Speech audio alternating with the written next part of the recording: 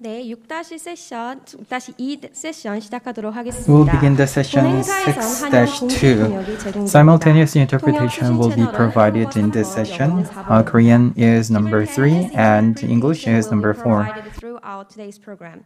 For Korean, it is tenor 3, and for English, it is tenor 4 on your receiver. 6-2 세션은 북한의 비핵화와 The session uh, 6-2 is uh, under the title Geopolitical Risk and National Strategy Sharing Experiences of Eastern Europe and Northeast Asia. 네, 죄송합니다. 6-2 지정학 위기와 국가 전략. the session title is Geopolitical Risks and the National Strategy, Sharing Experiences of Eastern Europe and Northeast Asia. We'll begin the session. And first of all, we would like to invite the Chair Professor uh, Cho Gonshik of Halla University for the opening speech. Please welcome him with a big round of applause.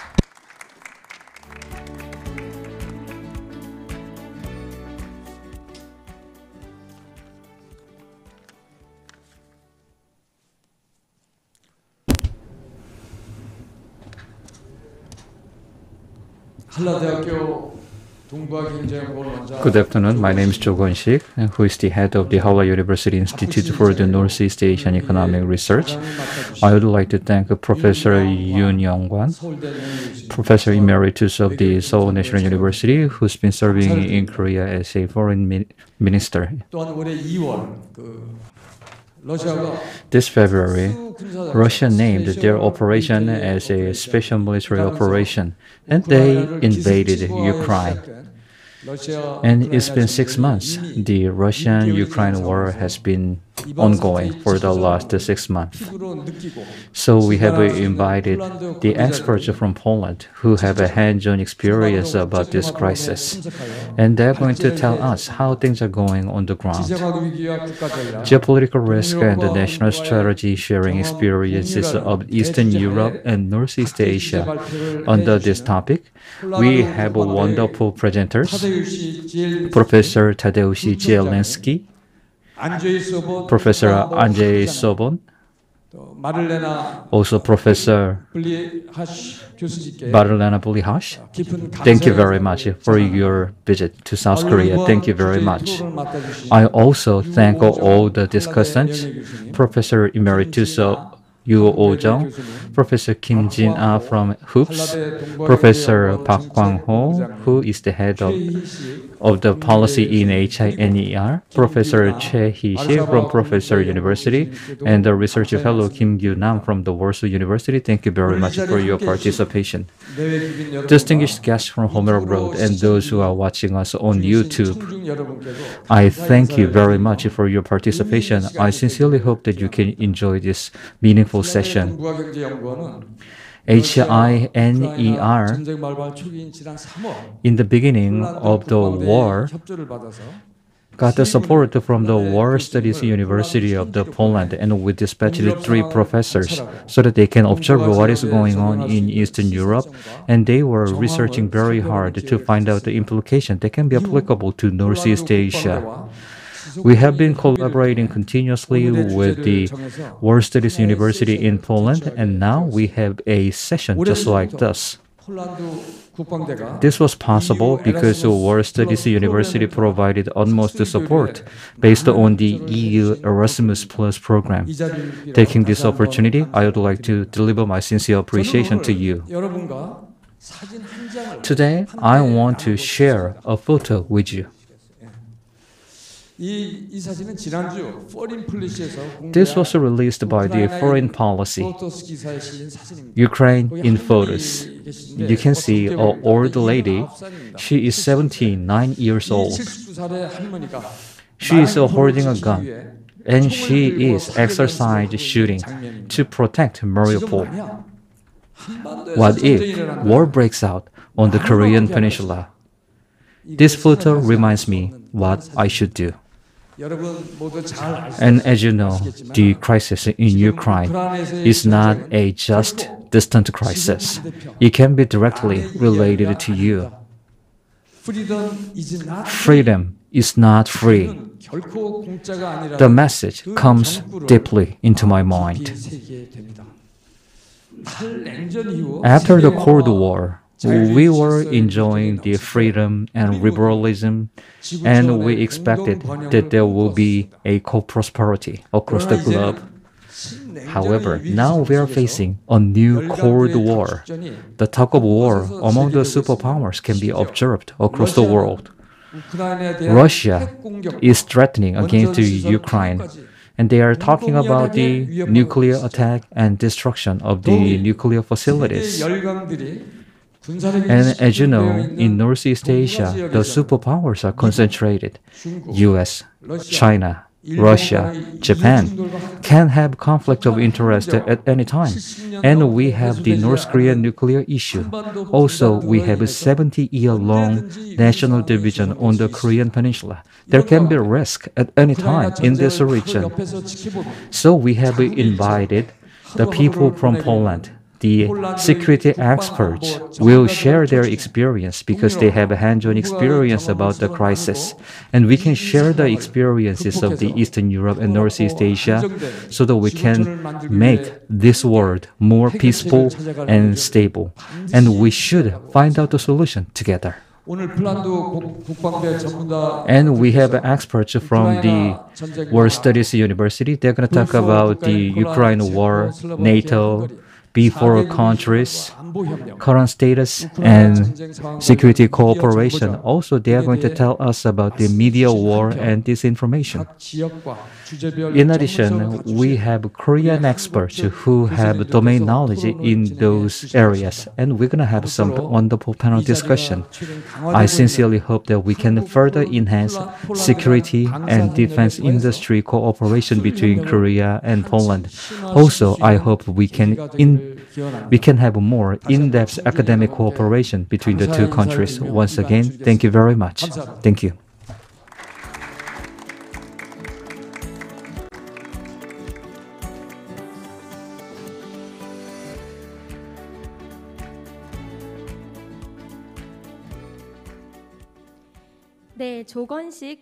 Thank you very much, Professor Cho Kwon-sik. Thank you very much, Chair.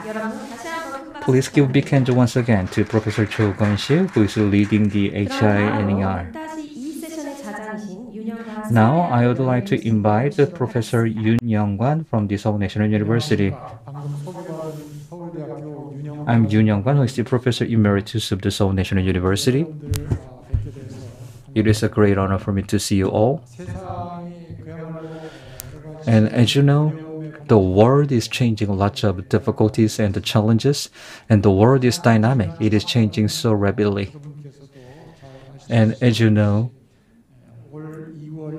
in February, February 24th, the Russia invaded Ukraine. And that is one of the most significant incident. It is not just about the two countries. It can be the story across the Europe and it can have an impact across the world. The international order can be changed because of this incident. This is such an important event.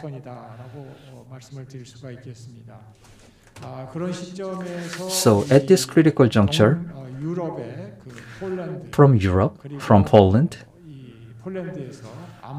we have a security expert. We have a wonderful three security experts, and we can have some discussion about this important topic. I believe this is timely and is a great honor. Especially Poland and Korea share some history lessons. In the past, we were surrounded by the superpowers, and we were going through some painful memories.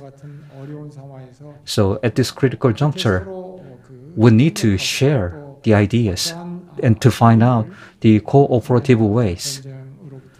And we need to find out the lesson learned from the Ukraine war.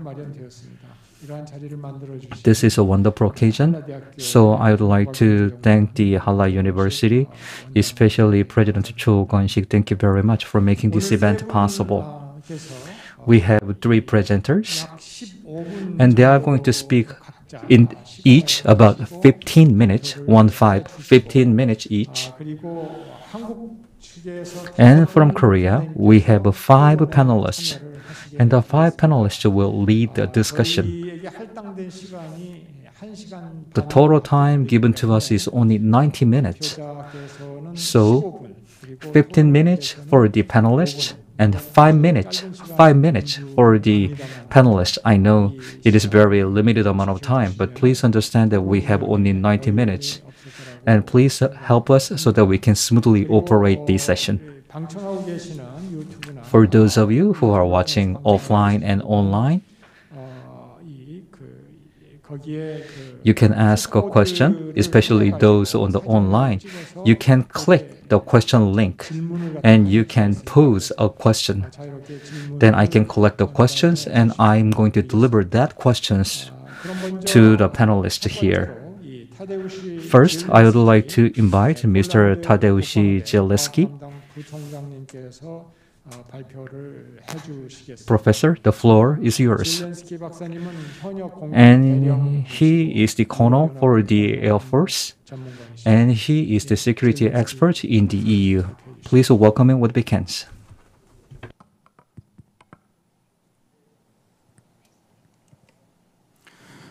Uh, good afternoon. First of all, it's a great pleasure to be here in such interesting event like uh, Korean Global uh, Forum for Peace. About this issue, should we discuss, and this place is uh, very good for do that. I would like to also emphasize that uh, all opinions presented during my speech are my own and shouldn't be mm, associated with uh, my university or official line of Polish government.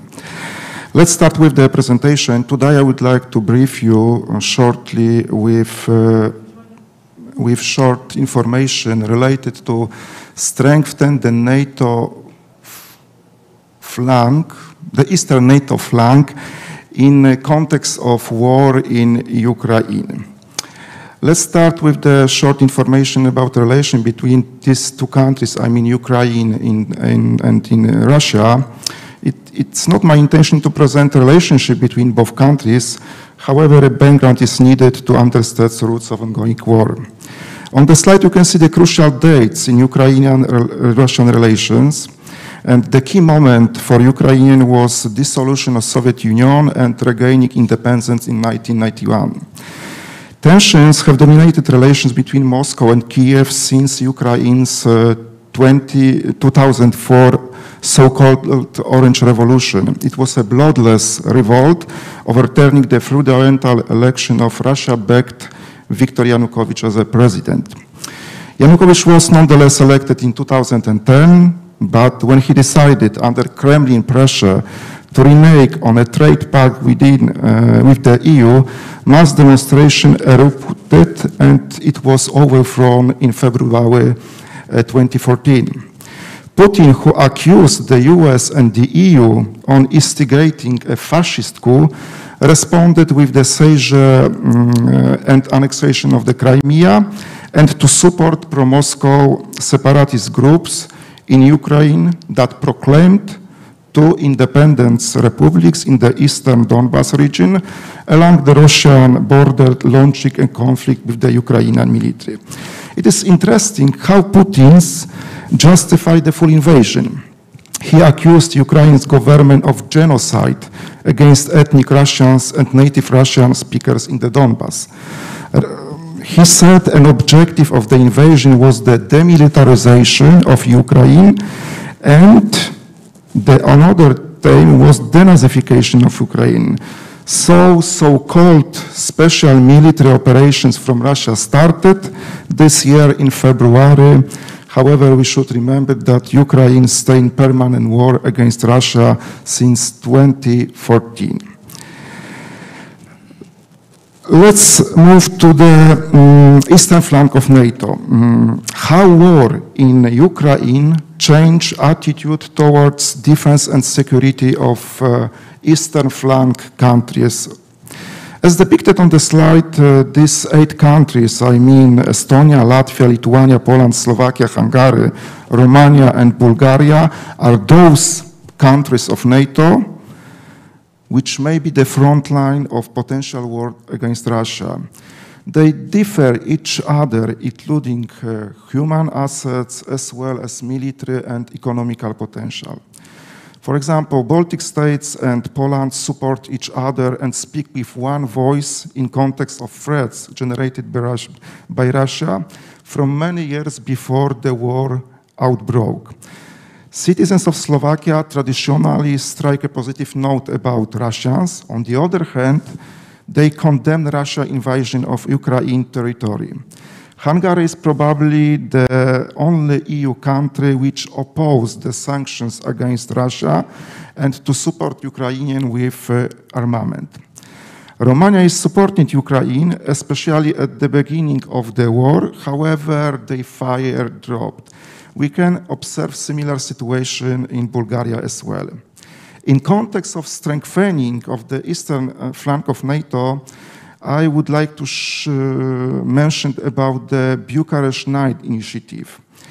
All members of the B9 were either part of the former Soviet Union or the Soviet Union-led Warsaw Pact. B9 is the essential format for coordinating as well as showing a common position on security of the eastern flank. During the last meeting this year in June, leaders stressed the importance of transatlantic relations and the light determination to defend every inch of NATO territory.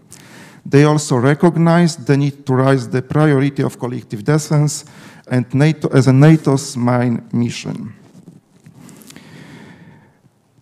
But what about the ordinary people? How they perceive the war in Ukraine? You can see the result of survey in the screen about public opinion on the war in Ukraine. The survey was conducted by European Council on Foreign Affairs, on Foreign Relations. In the first 100 days of Russia, Russia's war on Ukraine, European public opinion helped to solidify Europe's political response. But new poll reveals, the diverging, uh, reveals that diverging public preferences could weaken this unity. Research shows that while Europeans feel great solidarity with the Ukraine and support sanctions against Russia, they are split about the long-term goals. They are divided between a peace camp, is about 35% of people, that wants to the war to, to end as soon as possible, and the justice camp that believes that more pressing goal is to punish Russia, it's about 22%. In all countries, apart from Poland, the camp peace is larger than the justice camp. In my opinion, European citizens worry about the cost of economic sanctions and the threat of nuclear escalation. Another survey was conducted just before the NATO Madrid summit, and they shows that 67% of allied citizens think Russia's invasion of Ukraine has affected the safety and security of their country. You can see in the screen that countries of eastern flank of NATO are in the top of this survey. Why? First, I think that Poland, Lithuania, Latvia, and Estonia openly support Ukraine's rapprochement with the European Union of NATO. Then I would say that they are also aware of real threat of Russian armed aggression spreading beyond Ukraine's border. That's why they want to strengthen the defense of their territories with NATO's permanent presence. And what is more important, I think that citizens of these countries lived under Russia power and they really know what it means. Well, taking into account concerns of eastern flank uh, countries, uh, which drastically rise uh, in 2014 after annexation of Crimea, uh, they started to call for strengthening this flank. In this context, two events has been important. The first one was uh, the NATO Wales summit in September 2014, with very important message to allies I mean back to the collective desert. It means that the uh, era of expeditionary operations conducted by NATO, by NATO finished, and NATO is backing to their roots, I mean collective defense, which is very important to eastern flank NATO. it means more military infrastructure, equipment, uh, troops, uh, uh, bases, and military exercises in the region. The second event was Warsaw Summit on July uh, 2016, and during the summit, a decision was made about the so-called enhanced forward presence and tailored forward presence. I will talk later about them. On the screen, you can see the citations uh, from the newest NATO strategic concept endorsed during the Madrid summit this year in June. It's important to know that all allies perceive Russia as the most significant and direct threat to the allies, security and to peace and stability in the Euro-Atlantic area. The priority of NATO is deterrence and defense with the goal of denying and potential adversary opportunities for aggression. However, I think that with regard to conventional deter deterrence, there won't be any revolutionary changes when it comes to the development of forces on NATO eastern flank and no shift from a forward presence to forward defense, which Poland and Baltic states favored and which would be bring a significant increase in the Allied presence. I think that there are several reasons for this. Firstly, the diagnosis of Russia's relative military weakness and the conviction of NATO members that Moscow is not able to take aggressive actions against NATO after the invasion of Ukraine. Secondly, I think that reluctance of the largest member states to engage significant forces in the region on permanent basis. And thirdly, the lack of political will among some members for significant and rapid investment in military build-up because, you know, money is power. Well, an important component of NATO's deterrence and defense posture is military presence in the Eastern Part Alliance territory. In recent years, allies have enhanced NATO's forward presence by establishing multinational battle groups in countries of eastern flank of NATO. These actions demonstrate uh, allies' solidarity, determination and ability to defend alliance territory and populations. Following Russia's full-scale invasion of Ukraine in this year, allies reinforced the existing battle groups and agreed to establish four more multinational battle groups in some countries. Well, on the slide you can see the strength of the eastern flank of NATO in numbers, including air domain. I would like to draw your attention to my country because you know, war is not only battlefields, tanks, aircraft, and so on.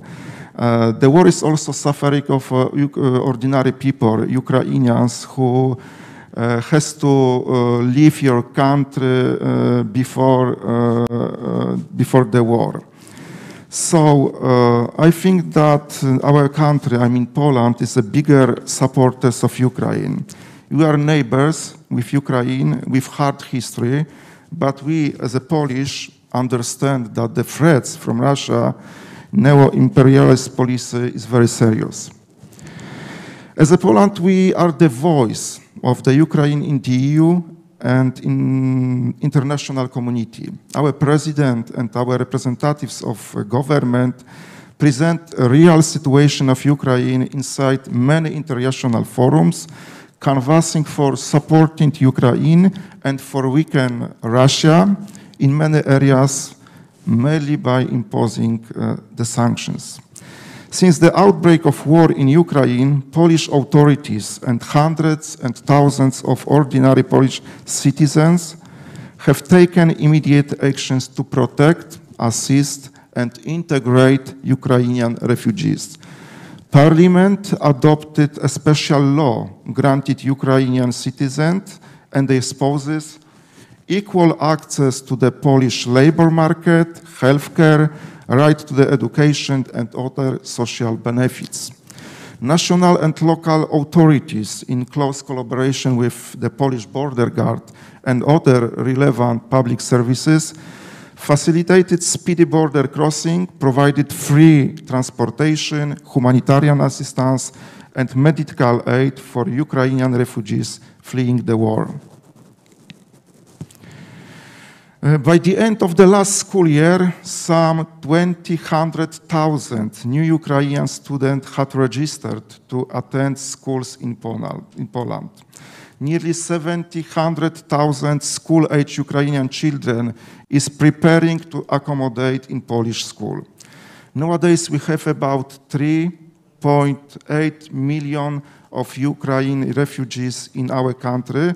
However, since the February of this year, 5.4 million crossed the border. Poland is also the second largest donor of military aid, spending about 1.8 billion dollars in security assistance to Ukraine. We are the largest European provider of uh, military equipment to uh, Ukraine, sending tanks, manpads, munitions, and many, many other um, equipment. Uh, from military point of view, I would like to point it out some lessons learned. Uh, of course, probably we don't have time to, to present this, so I would like to present some conclusions uh, related to, uh, to my topic. So, uh, first of all, in context of uh, eastern flank of NATO, uh, I would like to stress just general ideas because we know the war is still ongoing and some experiences will be revealed after the war or even published uh, many, many years later. First of all, I, I think that state leadership is very important in order to consolidate society against adversary and to look for international support for defending of national sovereignty. As activities of President Zelensky show, one person, authority, is able to do more than many weapon systems or brigades. Then I would say that Russia war against Ukraine is also the war against the West. Ukrainians are being killed simply because they are Ukrainians.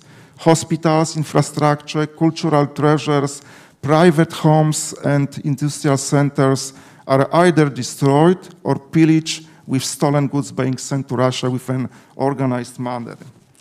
According to its own terminology, Putin's regime has chosen confrontation with the collective West, irrespective of the cost for Russia itself. Moreover, by creating economic shocks in the energy markets and weaponizing famine as a political instrument, Russia has further globalized the consequences of its words. Uh, do we have some time or not? A Few seconds. Okay.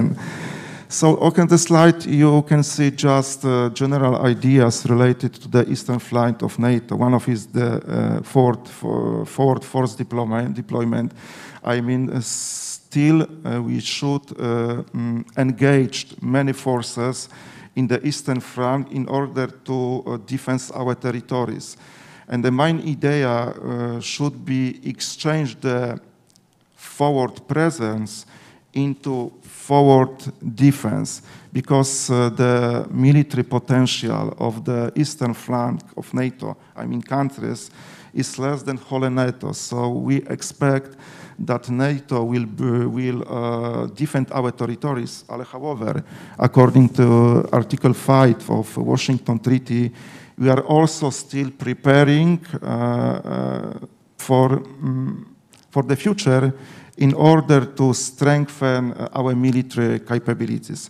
So thank you very much for your attention. Sorry for extended yeah. time. Thank you. 감사합니다. Thank you for the wonderful presentation. He talked about the east flank, the eight countries' solidarity and the cooperation. He talked about the military readiness and the cooperation. Thank you. Next, I would like to invite Mr. Andrzej Sobon, professor of the War Studies University. Please, he is the colonel for the Polish army. Please. Thank you very much, Professor, for so great invitation. Professor Chu, also for you for uh, uh possibility for in, invite me for this uh, uh great forum, Korea uh, Global Forum for, for Peace, not only for this perfect condition, but being in great group of scientists and persons who are interested in peace. Peace, which is, as Professor said, Uh, element of our uh, learning outcomes or uh, our uh, history between two ours uh, countries. Ladies and gentlemen, not only 8,000 kilometers, which uh, is distance between Poland and and Korea it is uh, my idea, but uh, also some information ab about Poland, uh, which is, uh, as Professor Zieliński said, one of the NATO countries located on the eastern flank of, on Poland. And some words, some words about our neighbors. If you, if you see the small violet color on the northern part of, of Poland, this is Russia. So it means that Poland uh, has the direct neighbor Russia. Russia, which tried to join the uh, corridor between Belarus and Kaliningrad uh, uh, Oblast, Kaliningrad region, this violet color. But in Kaliningrad, Russia has built a formidable military presence, spanning nuclear, nuclear weapon in Baltic fleet and tens of thousands of soldiers. The exclave, which has a population of nearly one million. The, the Moses are the soldiers. So in title, you can find also the acronym V4. It's mean the Visegrad Group, which is a political alliance of four Central European countries, Czechia, Hungary, Poland, and Slovakia, in this way known as V4. The date of establishment of creation was adopted in 1991 when the president of Poland, Lech Wałęsa, and during this time, Czechoslovakia, Václav Havel, and also Hungarian Prime Minister József Antall signed the special declaration for preparing these three countries during this time for uh, being the part of Europe for prepare the structure and market economy of this uh, country. But uh, since 1999, as Professor Zieliński informed you, we are the NATO countries, but from May 2004, all of these countries are in uh, European Union. And the Visegrad Group is the forum for exchanging experience and working out common position on issue important for the future uh, of the region and European Union. So apart from European issues, uh, cooperation with, with V4, Visegrad Group, focused primarily on the matters related to Central Europe. Priority areas of the group is the mm, development of uh, transport infrastructure and the strengthening of energy security in, in region. But uh, there is now a lot that divide this country. Uh, elements for this is, of course, policy towards Russia and China.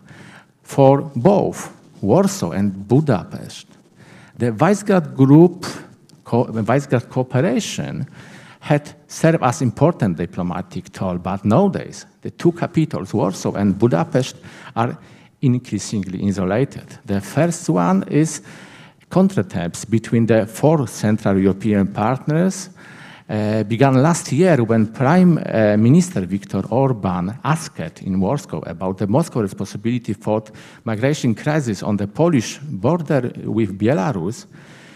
He said that don't see any evidence on the matters to blame Russian President Vladimir Putin.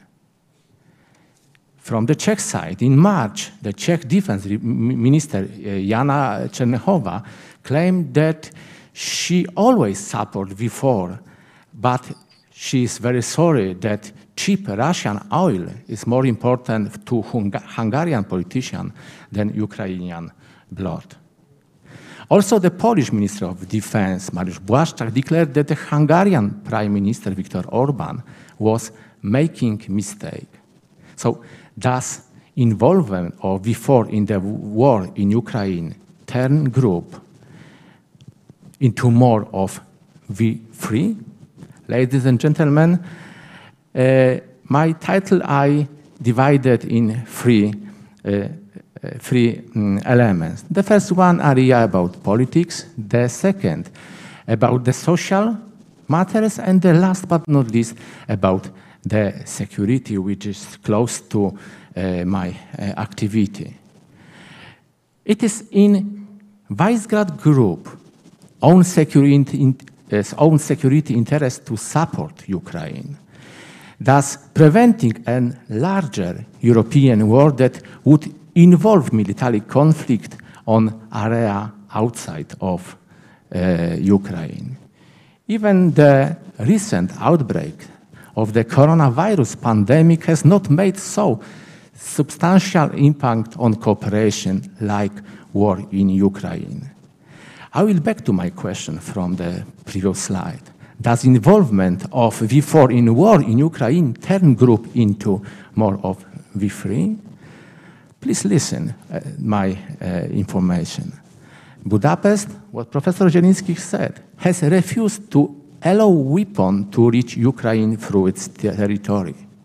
The second, Visegrad Group meeting of defense minister was cancelled after Poland and Czech Republic pulled out over Hungary tepid response to Russia's war on Ukraine.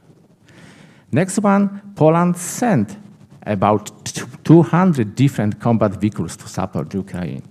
Slovakia decided to grant its fleet of Soviet-designed MiG-29 aircraft and started to send them to Ukraine. Czech Republic and Poland will send our fighters jet to protect Slovakia airspace. And also Prime Minister of Czechia, Petr Fiala, said that it's essential to support Ukraine in weapons needed to fight for both Ukrainian independence and the West, West security and freedom. And the Czech Republic uh, Parliament finally passed as a resolution arguing the government recognize situation and war crimes in Ukraine as genocide. But not only Czech Republic, but also US and the other uh, um, country will uh, do the same. Professor, uh, Dr. Blicharz will also say about some propaganda war, information war. Hungary is in very excellent relationship with uh, Putin and Russia, while we as the Poles and the Czechia facing the propaganda and some actions. I said about the uh, crisis on the uh, eastern border connected with uh, migrants which were invited by uh, Lukashenko to Belarus uh, for the reason connected with crossing the European Union border. And the, another fact is that also Russian Federation used the base uh, in Belarus to launch assault on Ukraine. But any of this fact, Hungarian Prime Minister Orban don't see any evidence on matter to blame Russian President Vladimir Putin. Poland, the most powerful politician on your right, Jarosław Kaczynski, blamed Viktor Orban for refusing to condemn uh, Bucha uh, killing in Ukraine. In this case, Prime Minister Orban said that he cannot see what happened in Bucha because it can be manipulation. Poland has been one of the Europe's uh, first adv advocates for Russian energy uh, embargo, but for Hungary it is too much. Uh, they are speaking about the uh, red line. Budapest still doing uh, its the best not to pick at a side between the West and the um, Russian president, but in war in Ukraine has strained Polish-Hungarian political friendship due to the Orban close ties with Putin. The first one, Putin has given Orban the cheapest gas prices in Europe. The second one, the Budapest received a special loan to fund the expansion project from Hungary's uh, nuclear power plant called Paks-2. And the last uh, element that Russia installed in Budapest International Investment Bank. It has moved me to the second point of the agenda, maybe a bit uh, uh, similar what Professor Zieliński said, that uh, uh, Ukraine share border with our countries, but also Romania, Slovakia, and Hungary. But this is in closest relation with Poland. But Poland has the little experience in so kind massive migration wave. The Polish government has pledged solidarity with Ukraine and said uh, Uh, people fleeing the country in case of Russian invasion would be real refugees and will receive help. In, in line with Geneva Convention, these people are under Polish protection and Poland will not say no to helping them. Before February 24, in Polish refugee centers were only 800 free available or free and available places. In this uh, condition, help for millions of people was in this time irresponsible. But what happened that more than 5 million uh, people entered Poland and received support? Because most of Poles and lot of social organizations, mainly from Poland, of course, Slovakia, actively provide humanitarian aid for Ukrainian uh, refugees. However, pro-Moscow ruling Hungarian Civic Alliance Fidesz stopped direct help. In Poland, many of uh, cities situated on the uh, eastern part were huge and still is huge hub for, of humanitarian aid. In countries like uh, Poland, Slovakia, refugees are being greeted, greeted with not tear gas and buttons, but warm meals, uh, free taxi riders, free Wi-Fi pass, uh, password, and invitation to ordinary Polish uh, people room. In lots of shops, we can observe friendship with Ukrainian citizens, but also normal volunteers can be seen all over the train uh, and offer for them lots of uh, support. So what happened, or is there one positive outcome of the war in Ukraine? It is, look, on the humanitarian support, then more than 5 million people uh, receive mm, help. So the Russian full-scale invasion of Ukraine has not only strengthened support for uh, Ukraine, but uh, also lead to increase in effort of improving security, especially in energy matters. What is the last point uh, of my speech? Despite uh, of some declaration or in, inside of Visegrad group, some states pursue their own goals determined by economic interests. Despite the fact that perception of the Visegrad group has changed since February 24, the declaration about the oil are uh, different.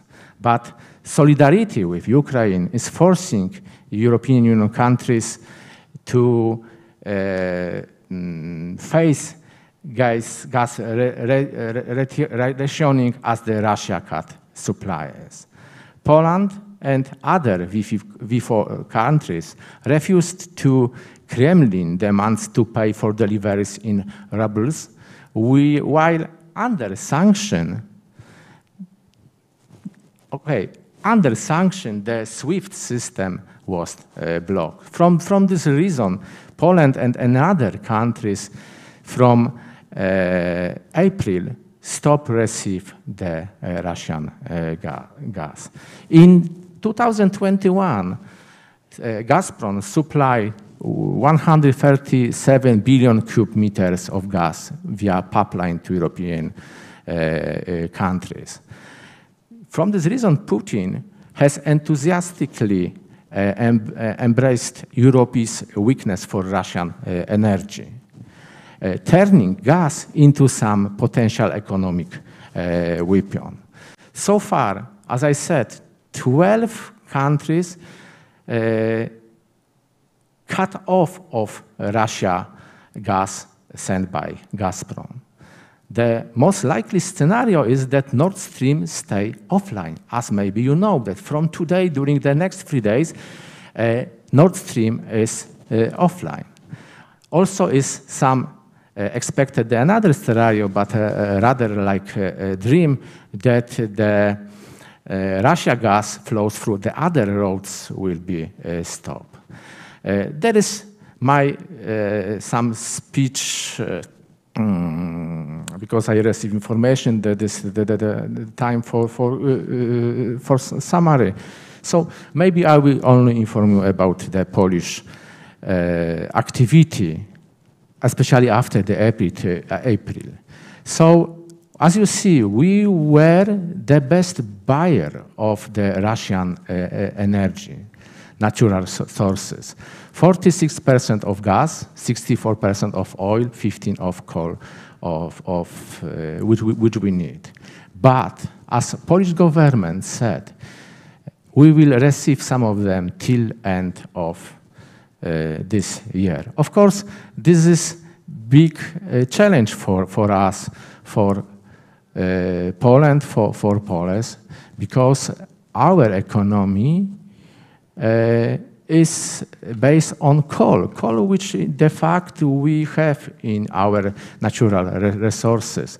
But still, we, we need about three, five uh, million tons of coal for support, for uh, heating houses uh, of, of Poles.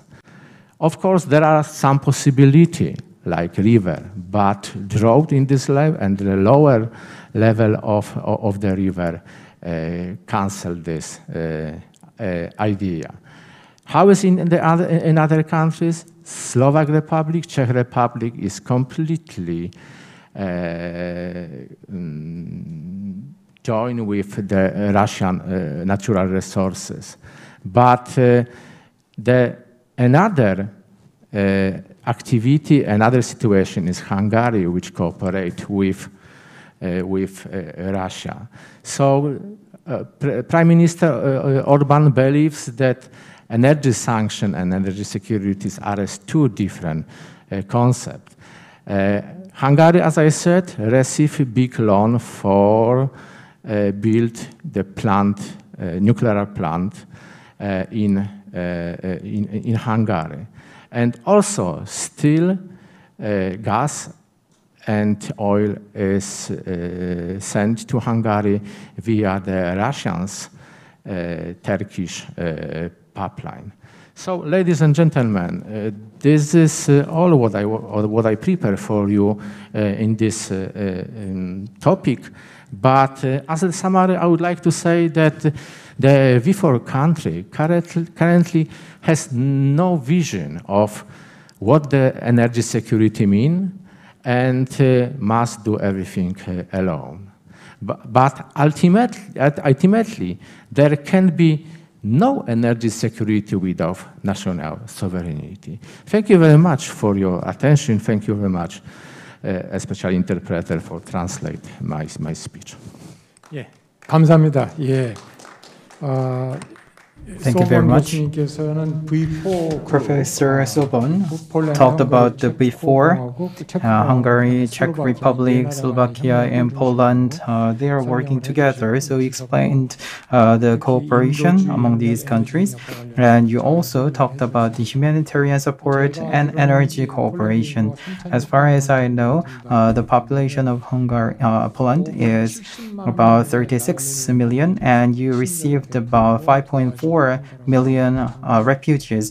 It is a very uh, surprising number and it is bigger than I expected. So I think that it is very impressive. Then let me move on to uh, Professor Marlena Blicharz uh, from the uh, War Studies University, and uh, she will make a presentation. And she is an expert in East Asia security, and she also studied in Yeungnam University once. Uh, please go ahead. Thank you, Professor. Maybe not yet an expert, but maybe in the future. Thank you. Uh, good afternoon, ladies and gentlemen. Um, uh, my name is Marlena Blicharz. I'm representing National Security Faculty of War Studies University in Warsaw, Poland, and it's a big uh, honor and privilege to be here on this uh, very impressive event. Uh, special thanks to uh, Professor Cho and Professor Jung for inviting us for, um, for the forum. Um, the topic which I would like to uh, present uh, to you it's uh, Russian disinformation in Eastern Europe in context of war in Ukraine and beyond, uh, which um, which is especially important for um, for us um, in our um, part of the of the world. Uh, it's almost 7,000 kilometers away from Seoul. Uh, however, um, repercussion of the other side of the world uh, have direct uh, have direct uh, influence on the situation on the other side.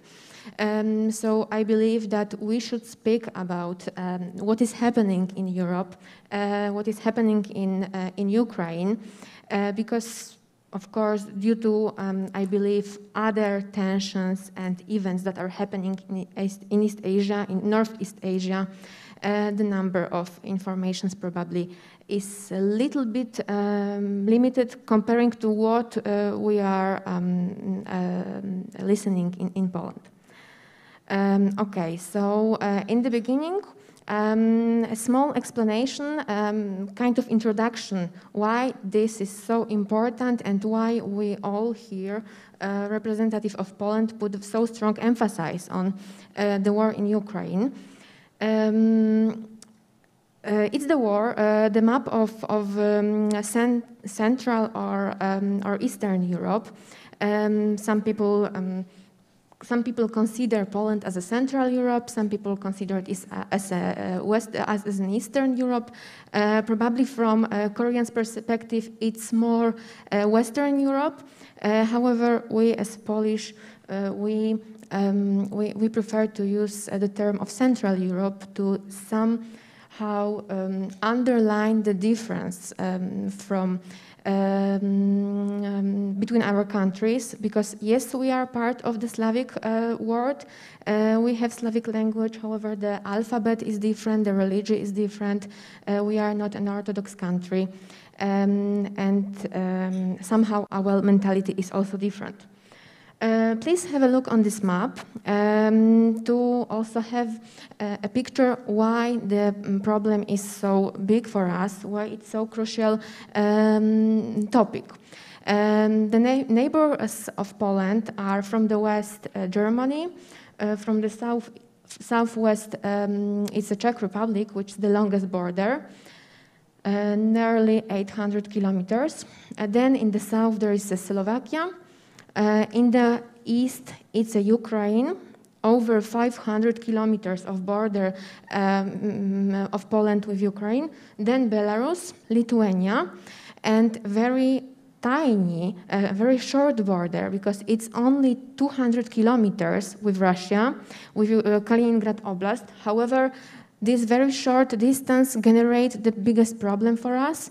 Uh, it's very direct threat to our security, um, and not only to us, because Poland, as a member of European Union and uh, NATO, uh, is also the, uh, the external border of the alliances. We are also external border of Schengen zone, meaning that uh, anyone entering um, Polish territory is able to travel very freely all over the uh, Europe.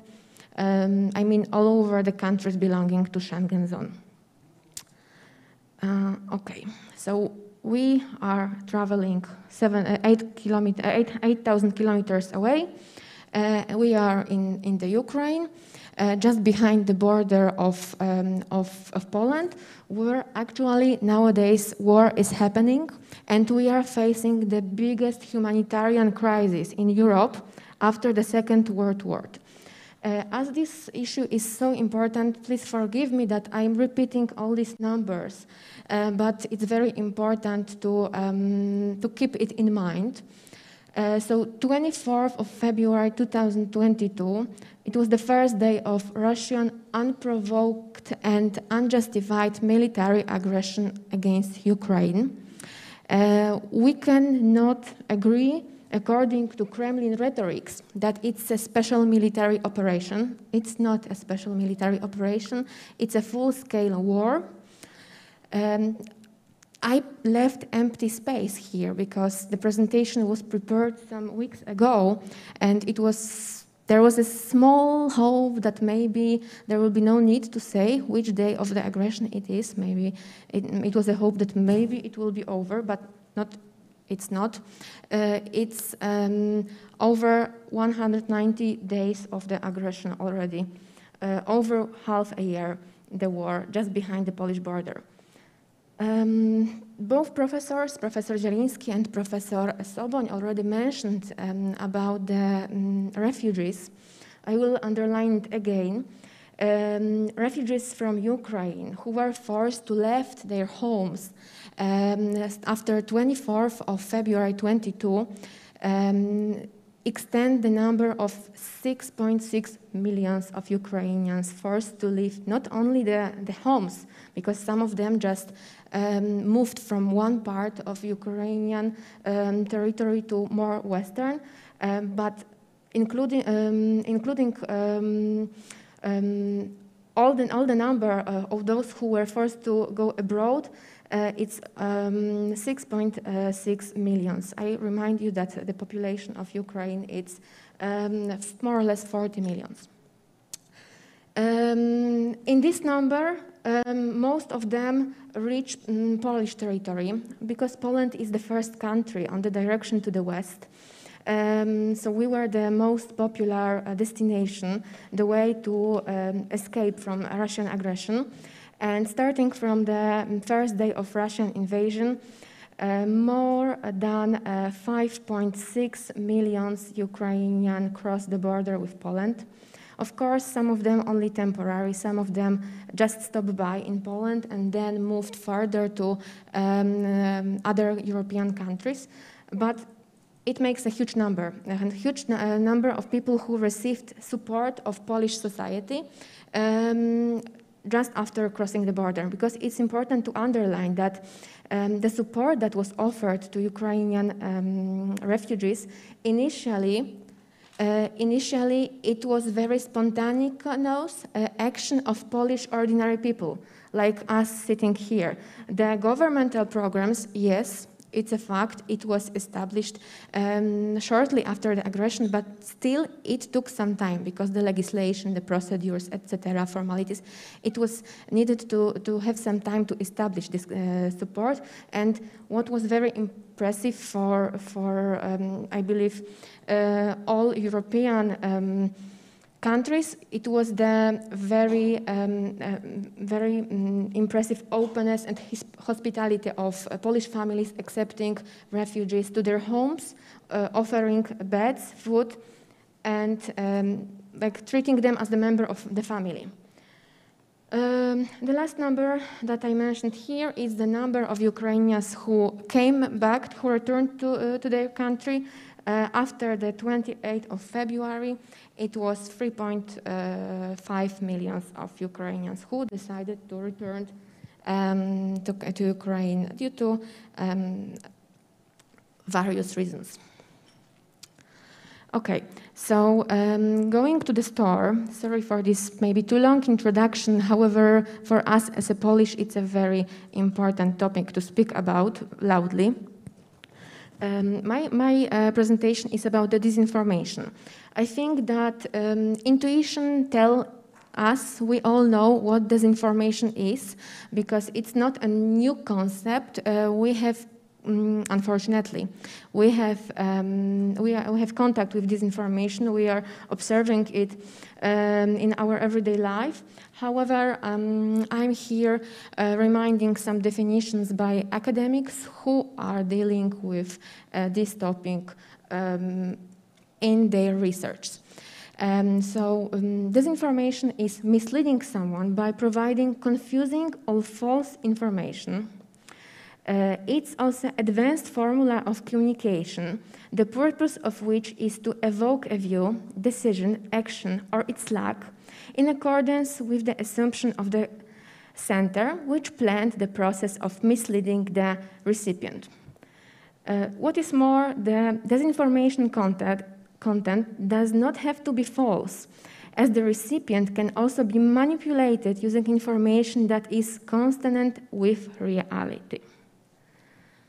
Mm, uh, next term uh, that is important uh, to um, explain, speaking about uh, such topic, is uh, disinformation operation, uh, which is understood as an action similar with information psychological operation, with the psychological element remaining dominant, that is focusing on attempt to mislead the opponent.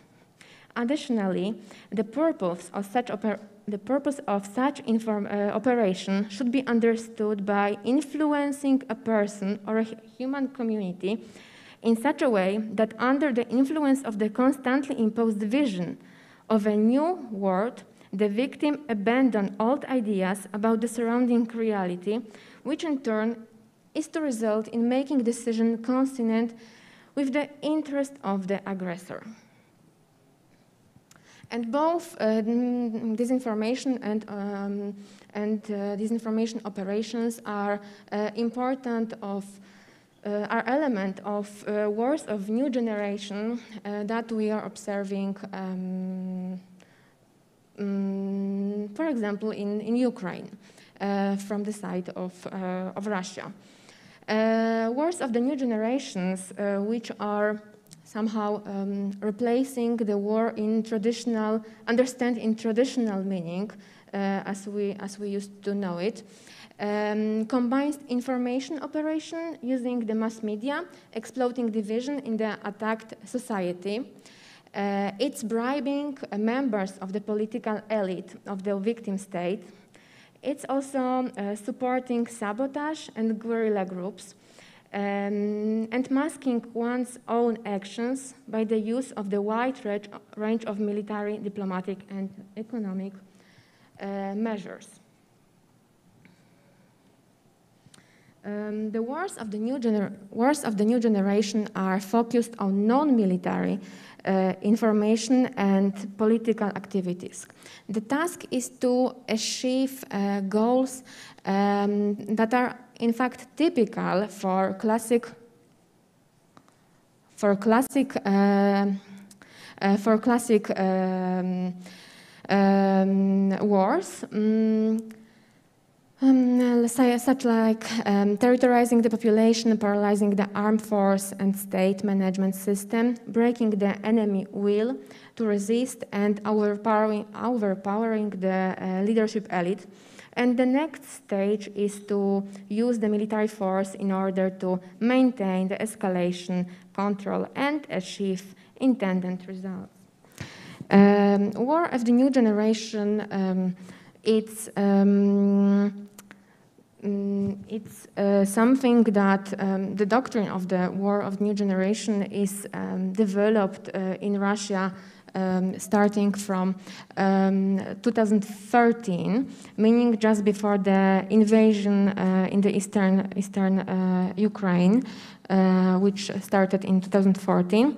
And the um, let's say, the face of, um, of this um, doctrine, it's this um, gentleman speaking with uh, Vladimir, Vladimir Vladimirovich Putin, um, Valery uh, Gerasimov, who is the general uh, of, of Russian uh, army and head of um, staff, um, general staff. And uh, he said that the rules of war have changed significantly. The role of non military methods in achieving political and strategic goals has increased, and in many cases, they have significantly exceeded military power in their effectiveness. Uh, nowadays, it's uh, considered to be a um, most uh, important way of achieving strategic goals uh, um, by Russian Federation. Um, and what is the strategic goal? Uh, strategic goal is to um, build hegemony and uh, status of restore the status of Russian Federation as a superpower as it used to be during the previous era. And how is it going on? How uh, is it happening? Uh, here are the few examples of Russian disinformation um, which are connected with the war in Ukraine. And first example uh, is connected with um, um, I decided to put this example because it's connected with Asia um, somehow.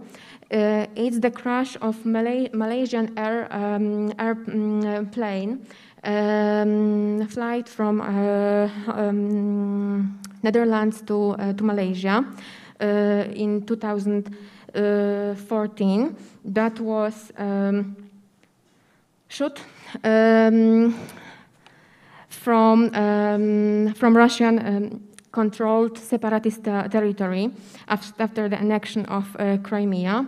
Um, according to, uh, it's, it's the result of international um, international commission, okay, I forgot the word, investigation, yes, thank you. Uh, however, what is Russia saying is that um, the, um, the accident was, uh, was uh, planned and uh, was successfully uh, conducted by Ukrainian um, army. And a, uh, there is a conspiracy theory about that, explaining, um, explaining and supporting uh, this, this um, Russian theory, um, connected with the pilot uh, Władysław. He was um, uh, he was an officer in the uh, Ukrainian Air Force who committed a suicide uh, two years after that, and Russian spread information about that as a confirmation that he was not able to handle the responsibility of um, hiding this information, and um, th that's the tragedy had happened. Uh, second, very, um, very uh, common um, rhetorics of, of Kremlin is that um, uh, is that the special military operation, what is happening right now, uh, was started um, due to um, due to the need of protection of, uh, of uh, Russian, um, Russian uh, nationalities, especially children, uh, in eastern part of Ukraine.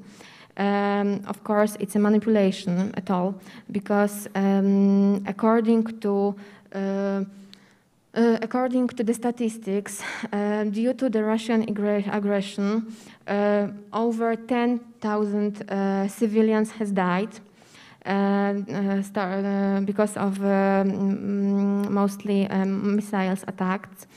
among them, significant group of children. So no, it cannot be explained as saving children with this special operation.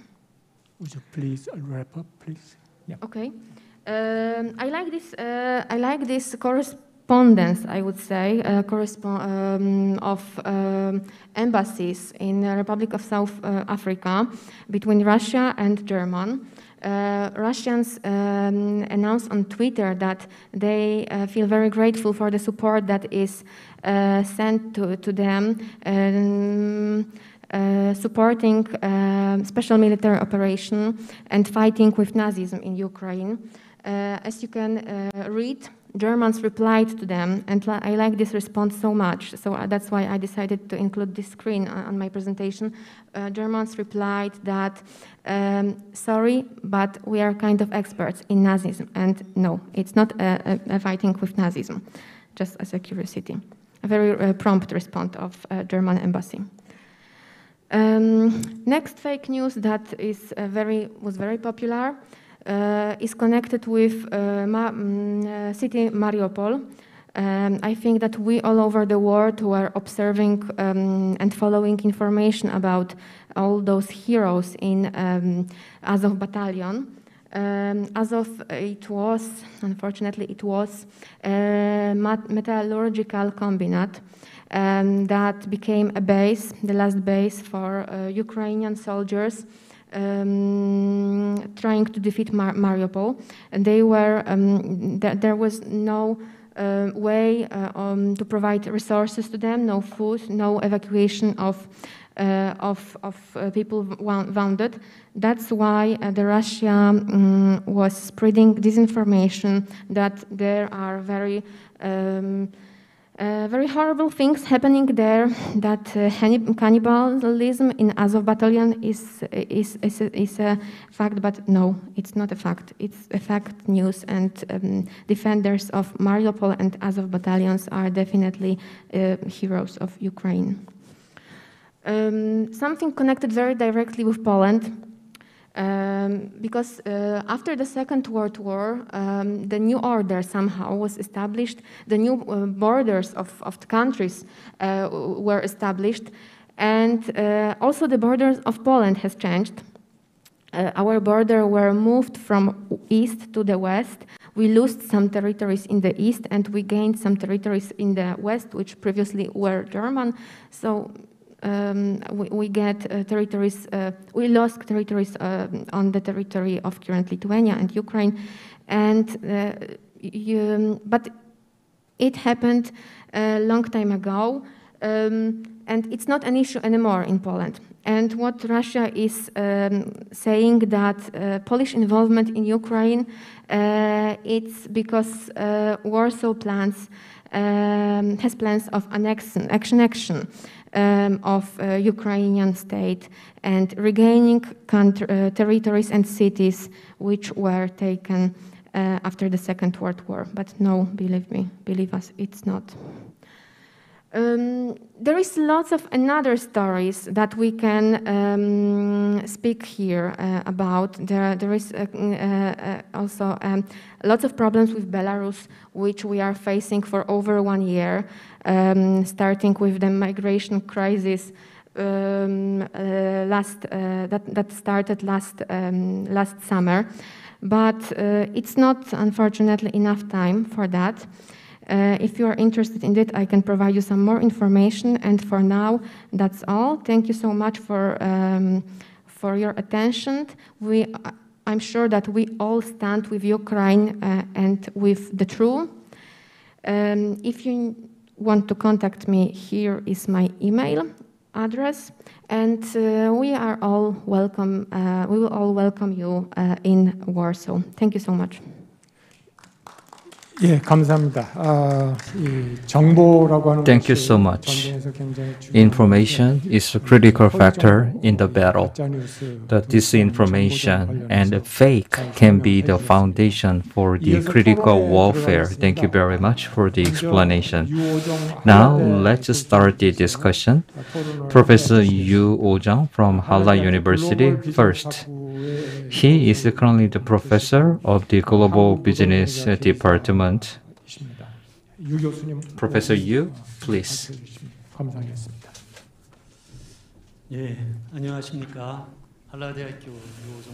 I'm Yu Ojong from Halla University, especially those who are traveling or far from Poland. Thank you very much for your presentation and you are close neighbor of the Ukraine. And you explained about the NATO status and the strategy. Also, you talked about the disinformation. Thank you very much for the interesting and in-depth analysis. I was able to get some insight. Korea is working on the aggressive and flexible diplomatic actions, and we want to find out the ground so that we can get some international help in the case of emergency. As a panel, I was wondering what I should tell you. But one thing I can say is this so, all of you are the security experts and the experts in the battle. So, I'd like to focus on the battle and the war. The war in Ukraine gave lots of the opportunity to Russia. And probably the nuclear ban, which has been made for about 70 years, can be broken. The nuclear weapon is a threat to the Korean peninsula. However, things can change. In last April, Kim Yo-jong made an announcement. Kim Yo-jong from North Korea said that the nuclear weapon can be the tactical weapon that can be used in the early stage of the war, and it can be used against South Korea. That was clear message from Kim Yo-jong. And through this war, Probably North Korea learned a lesson. Ukraine, when it was declaring the independence, had many nuclear weapons. It was number three. However, because of the pressure from the Russia and the US, they gave up all the nuclear weapons and transferred all the nuclear weapons to Russia. They abandoned nuclear weapon and North Korea is watching what is the consequences of giving up the nuclear weapon. So, the Ukraine crisis is clearly delivering the message that North Korea should not give up the nuclear weapon. So, the nuclear threat is bigger. And it is really difficult to work on the denuclearization in the Korean peninsula. The new administration of South Korea launched a audacious initiative. They want to give some economic incentive and better livelihood to North Korean citizens. If it can be accepted by North Korea, it can be great. However, so far, North Korea refused to accept the offer from South Korea. Under this situation, what kind of options are on the hands of South Koreans? The first option South Korea can take can be to have a nuclear weapon so that we can have the nuclear balance between South Korea and North Korea. I know that's very radical and aggressive idea. However, in the long term, it is worth considering because North Korea is armed with a nuclear weapon. We have only traditional and conventional weapons, and we are investing lots of money. We still have the security concern because of the nuclear weapon of North Korea. But if if somehow South Korea has a nuclear weapon, paradoxically, there can be better cooperation and exchanges between the two Koreas. Because of the inter Korean exchanges, the USD that South Korea sent to the North Korea allegedly have been used for the nuclear weapon development. So I would say once we have the balance of the power, we can have the peace. However, what matters is the feasibility. Realistically, Korean people would not like the idea. And as you know, Korea is export-driven country. There will be serious sanctions and the consequences from the international community. It is impossible for Korea to develop a new nuclear weapon. Then what can be the option? Kim Jong-un is working on the advanced nuclear weapon. And Kim Jong un declared that they are going to make a light and small tactical nuclear weapon. Even though the impact will be smaller, but it's going to be more accurate. That kind of small nuclear weapon will reduce the collateral damage. However, they have more nuclear usage option, which means people can openly use nuclear weapon if they have more and more options. So we need to get prepared so that there will not be any warfare or any war. Even when we have a conventional warfare, it is really necessary to work on the deterrence so that North Korea will not use its nuclear card. If North Korea is using the nuclear weapon, we should deliver the clear message. There will be a significant retaliation. I sincerely hope this kind of strategy can be researched in depth. Thank you very much. Thank you very much. You suggested very innovative idea about uh, the nuclear power in North Korea, and you also uh, argued that uh, South Korea needs to consider the uh, nuclear options. And we'll move on to uh, the next uh, uh, panelist, uh, Kim Jin Ah. Uh, he is a professor. She is a professor at Hankuk University of Foreign Studies. Thank you very much, and uh, thank you very much for the presentation. Uh, due to the limited time, I will be brief. Today, we are talking about the geopolitical risk and what kind of reaction is now taking place in each country. That was the focus of the session. In East Europe, how countries are consolidated and how they are responding together. It was well summarized by the presentations. But eventually, on the globe, in any other areas, when there is another geopolitical risks, I'm wondering whether uh, they will cr- create global coalition. I would like to put a question mark on that. So the Ukraine case can be a critical case, and in the future, when there is a geopolitical risk, uh, we uh, can also use this uh, situation as a litmus test so that we can see what will happen in the future. So we can expand our scope to the North uh, European region, and uh, we would like to assess uh, what kind of reaction they are showing to this Ukraine war.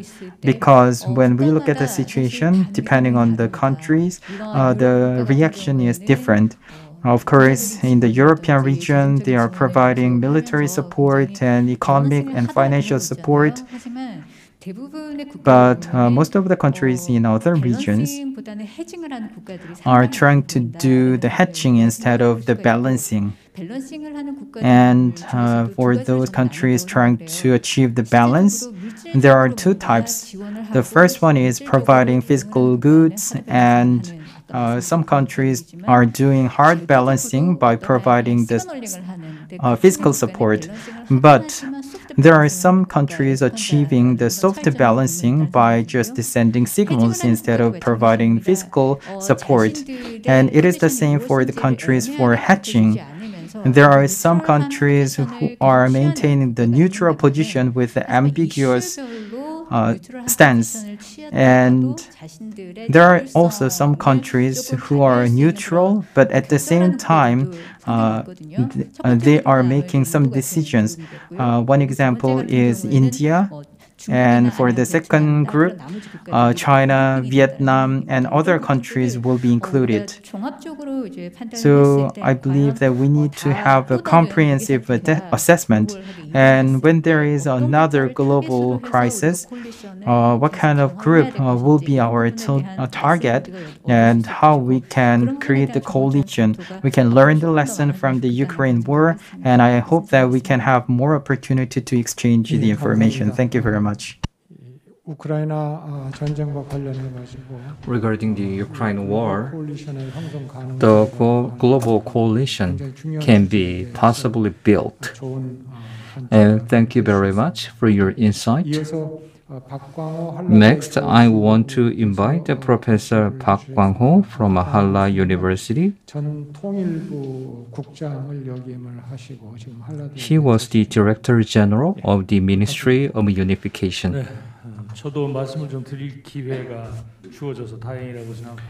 And finally, the opportunity was given to me. Today is really important because after the Russian aggression on the 25th of the February,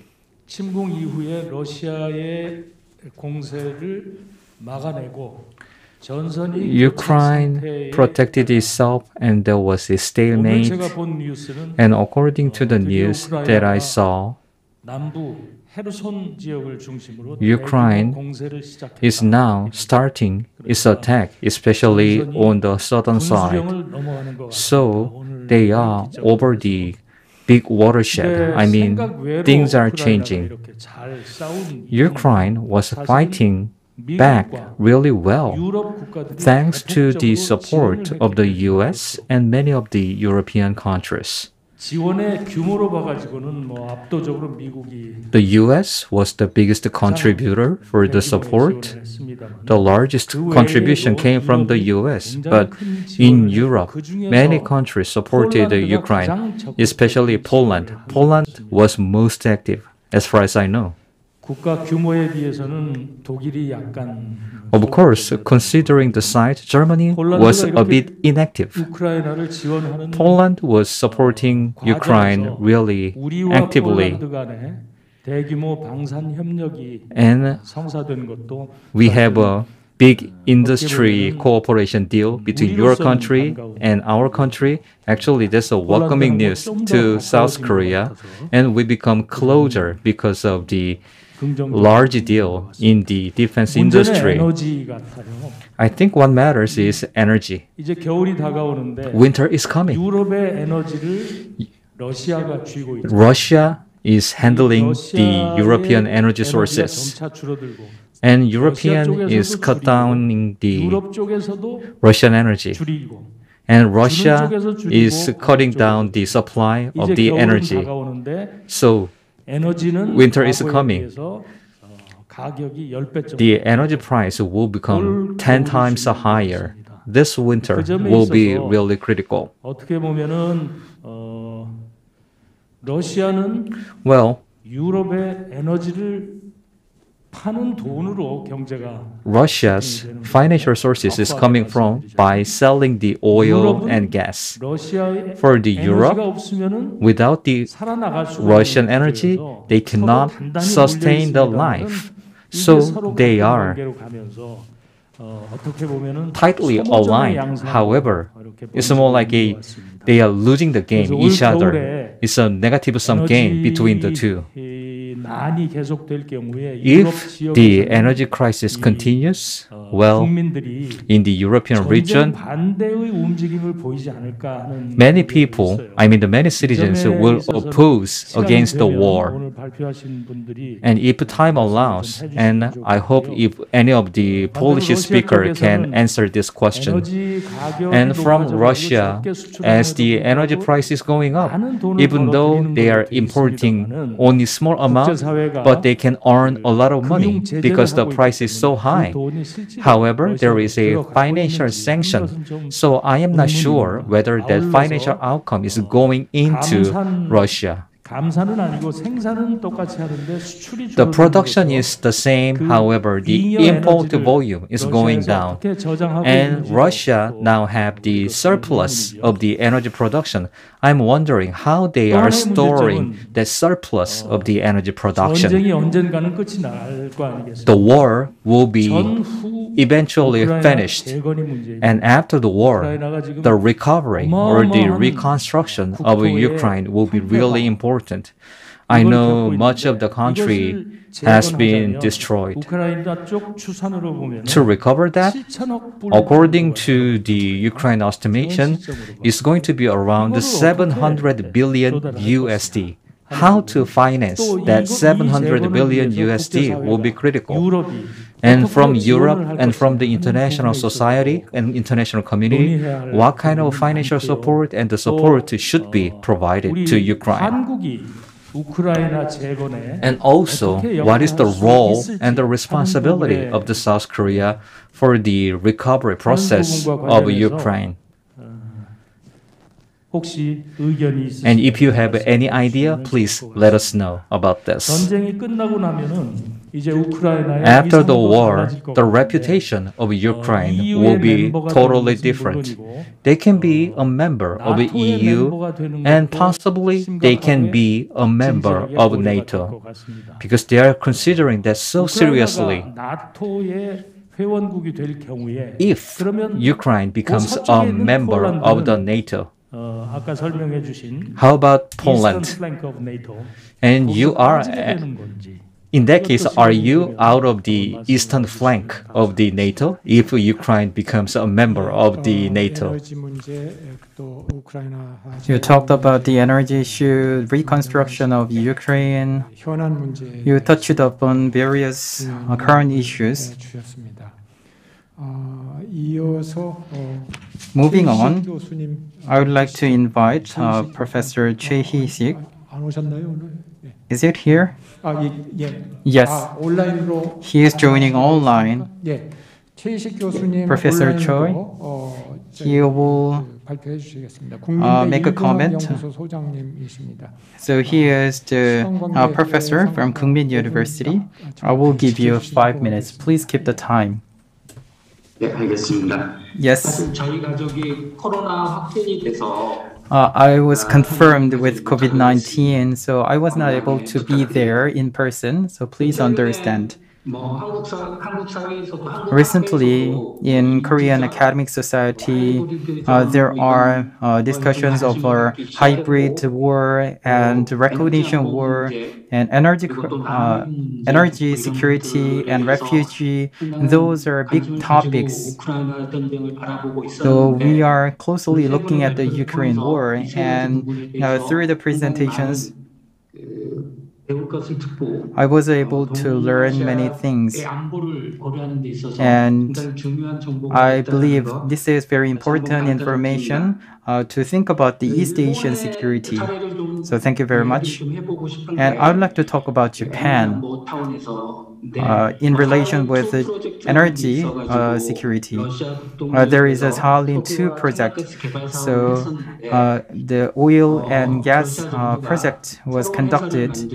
Uh, Russian government created the company and under the approval of the Russian government, uh, companies uh, were able to participate, and the Russian government had the rejection power. So the UK shale companies decided not to participate in the project. However, uh, Japanese uh, companies decided to participate in the project again. And uh, Japanese companies already uh, signed uh, contract to purchase the LNG gas. So, uh, when it comes to the international cooperation, politics, and energy security, there might be some conflicting situation. In the global value chain, energy security is part of it. And, without the reshuffling of the supply chain for natural gas and oil, it would be difficult for us to maintain the global order.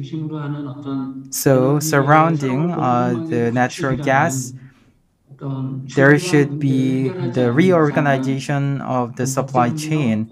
Otherwise, international cooperation would not be possible. Uh, we can learn this from Japanese case because uh, Japan is a country doing hard balancing, but still, due to the energy security, uh, they are experiencing a dilemma. So uh, Japan inevitably uh, uh, has to uh, do some action that is opposing the Western society. And second point, the Ukraine crisis can be the future of the East Asia because of the uh, Taiwan issue. In European region, uh, now dynamism is changing and it will change the global dynamism. And in East Asia,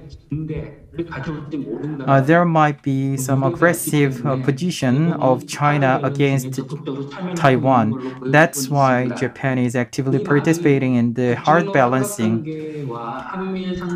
And now there are two triangles, uh, DPRK, China and Russia, and US, Japan, and uh, RK. So there might be changes in this dynamism. And, and the position of Japan might not be in line with uh, the East Asian countries. Currently, the Korean government is conservative government, so now the Korean government is in line with the Japanese government. But considering the domestic situation, uh, now, in the future, uh, there might be possibility that uh, Korean government is not in line with the Japanese government. In the presentation, there was uh, explanation about Poland and Hungary. And I believe we need to look into uh, these two different reactions of Poland and Hungary. So I would like to ask you about the reaction of Hungary. How do you assess their responses? Anyways, uh, we talked about the refugee issue, energy issue, and recognition war. So there were many food for thoughts. Uh, with this, I would like to conclude my uh, comment.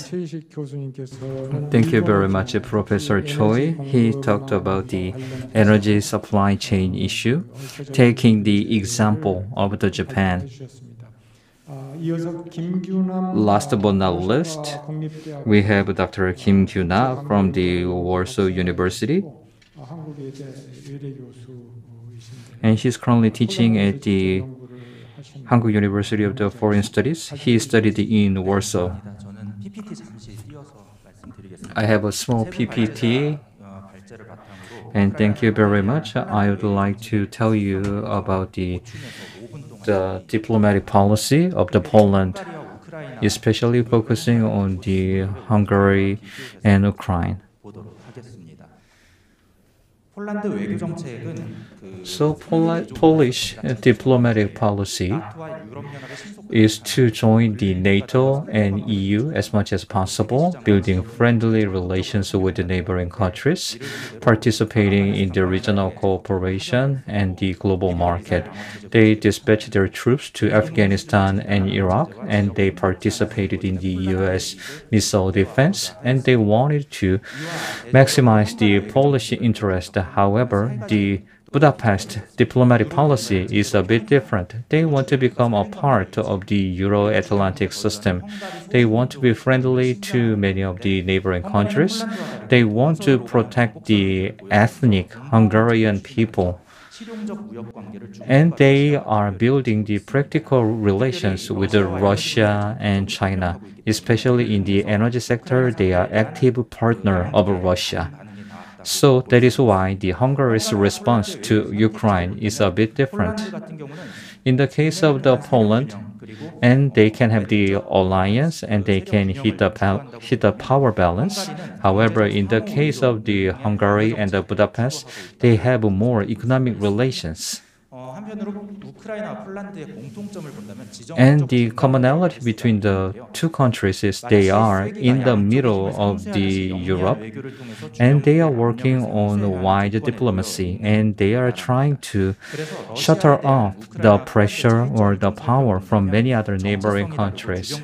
Their identity is different and their relations with the neighboring countries is different. For example, the Orthodox Church their identity is different, and also their membership to the NATO and the EU is different. Historic difference, historic sides are also different, because in the past, Poland and Lithuania has a federation in the past.